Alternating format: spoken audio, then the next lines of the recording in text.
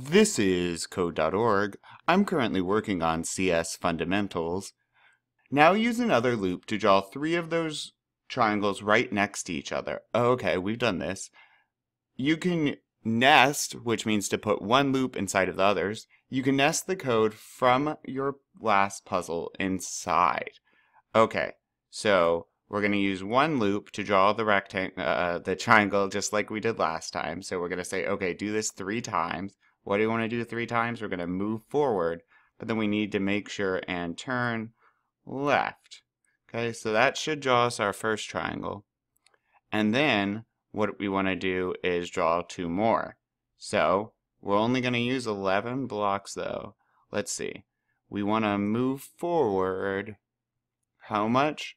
Well, 50. So after we draw three sides here, I want to move forward 50. I'll be right there. And then I'm going to want to draw another triangle. And to do that, I'm going to nest one loop inside of the other.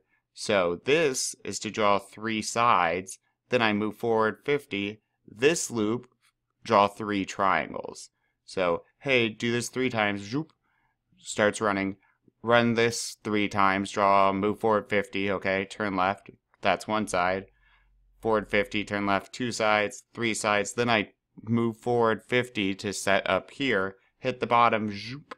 Okay, now on to the second triangle and do it all again. Let's test.